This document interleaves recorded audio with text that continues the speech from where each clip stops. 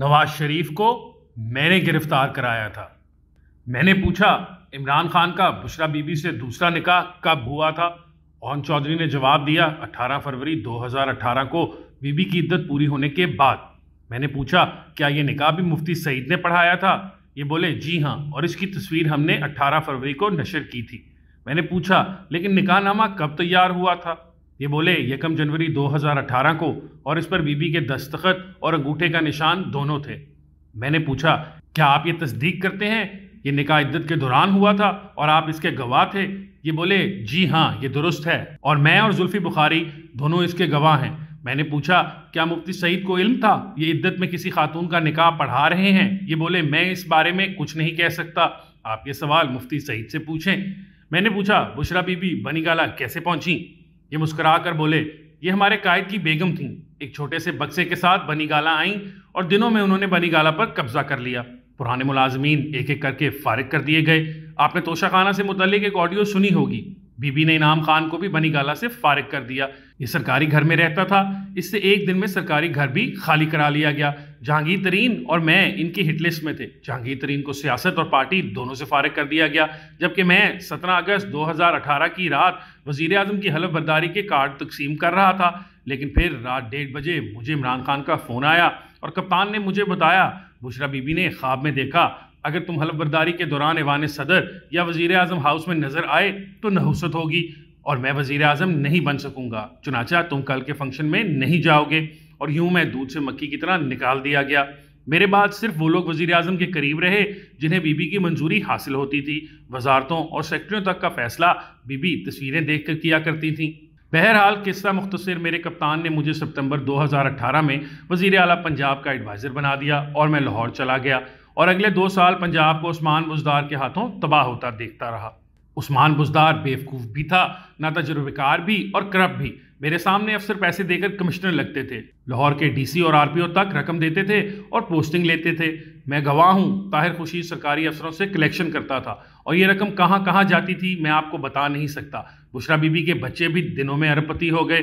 आप इनके सासे निकाल कर देख लें, आपको सारी कहानी समझ आ जाएगी।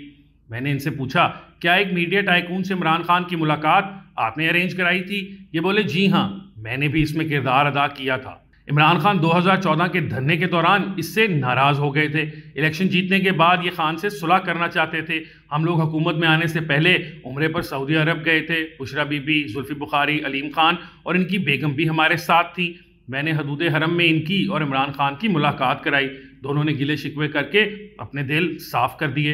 इमरान खान ने इन्हें दिल से माफ़ कर दिया, इन्हें गले भी लगाया। लेकिन फिर इमरान खान ने इसी को गिरफ़्तार करा दिया और उठाकर जेल में भी फेंक दिया। मैं ये खबर सुनकर हैरान रह गया, क्योंकि इमरान खान ने हदूद हरम में बैठ कर ये ऐलान किया था, मेरे दिल में आपके खिलाफ कोई शिकवा मौजूद नहीं, और हम आज से दोनों भाई भाई हैं। मैंने पूछा, क्या इस गिरफ्तारी में इस्टेब्लिशमेंट का भी कोई किरदार था? ये हंसकर बोले, मैं खुद इस वक्त जेर अताब था, लिहाजा मैं यकीन के साथ कुछ नहीं कह सकता। ताहम ये सच है इस्टेब्लिशमेंट ने इसको हिरासत के दौरान रियायतें दी थी, और इस पर भी इमरान खान ने इस्टेब्लिशमेंट से शिकवा किया था। मैंने पूछा कि गिरफ्तारी किसके मशवरे पर हुई थी? ये बोले मेरी इतलात के मुताबिक ये गिरफ्तारी भी बुशरा बीबी की हिदायत या ख्वाब पर हुई थी। ये बीबी से मुतल खबरें नशर करते थे, लिहाजा इन्हें सजा मिली।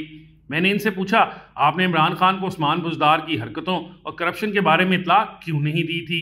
ये बोले, मैं पूरी रिपोर्ट लेकर इमरान खान के पास गया था, लेकिन इस रिपोर्ट के बाद मुझे वज़ीर अजम के स्पेशल कोऑर्डिनेटर की पोजीशन से हटा दिया गया और यूँ मैं और अलीम खान दोनों फारिग हो गए। मैंने इनसे पूछा, क्या ये सच है? तेरह जुलाई 2018 को जब मियाँ नवाज़ शरीफ मरीम नवाज़ के साथ लाहौर एयरपोर्ट पर उतरे थे तो इन्हें आपने गिरफ़्तार करवाया था? ओन चौधरी ये सवाल सुनकर खामोश हो गए। मैंने दोबारा पूछा, ये बोले, मैं इस बात पर बात नहीं करना चाहता। मैंने तीसरी मरतबा ज़ोर देकर पूछा तो ये आहिस्ता आवाज़ में बोले हाँ ये दुरुस्त है। मियाँ नवाज़ शरीफ और मरीम नवाज़ को मेरे कहने पर लाहौर एयरपोर्ट से गिरफ़्तार किया गया था मैंने पूछा, क्यों?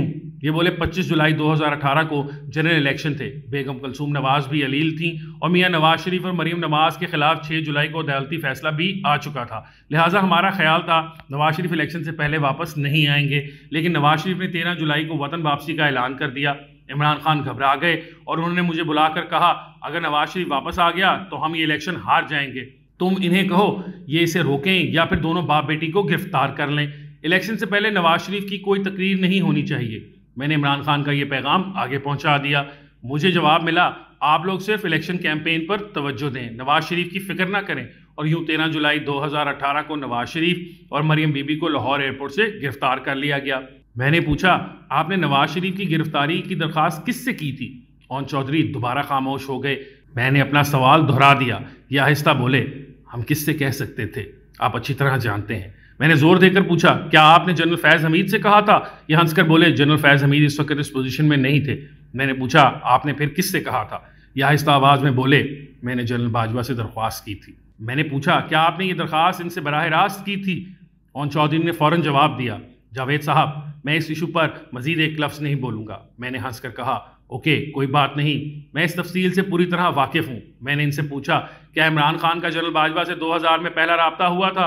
ये बोले, जी हाँ ये दुरुस्त है। हम 2017 के शुरू में पहली बार जनरल बाजवा से मिले थे।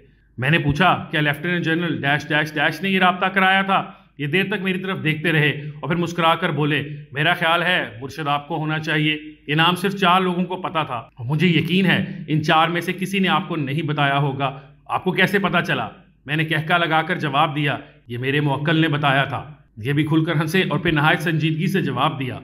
मैं आपको ये कन्फर्म नहीं कर सकता। मैंने पूछा इस्टेब्लिशमेंट के साथ आप लोगों की मुलाकातें कहाँ होती थीं? ये बोले, इमरान खान की आर्मी चीफ से मुलाकातें जल बाजवा के ससुर major general retired Ejaz Amjad के घर होती थीं। जबकि दूसरे लेवल की मुलाकातें इस्लामाबाद में अलीम खान के घर में होती थी। अलीम खान का घर हमारे कब्जे में था। वो लोग उधर से वहाँ आ जाते और हम इधर से वहाँ चले जाते थे। मैंने पूछा, इन मुलाकातों का एजेंडा क्या होता था? ये हंसकर बोले, इलेक्शन, और क्या? हम हर सूरत इलेक्शन जीतना चाहते थे और हमारे मेहरबान हमें हर सूरत इलेक्शन जितवाना चाहते थे। चुनाचा हम वहाँ इलेक्शन की स्ट्रैटेजी बनाते थे।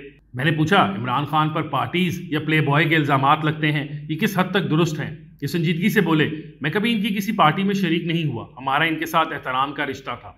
ये काम अगर होता भी था तो विक्की के घर होता था। वो बेचारा फौत हो चुका है। वो मोबाइल जोन कंपनी का मालिक था और खान साहब का पुराना दोस्त था। हम खान साहब को इसके घर पर छोड़कर वापस आ जाते थे। वहाँ इसके बाद क्या होता था, ये अल्लाह ताला और इमरान खान का मामला है।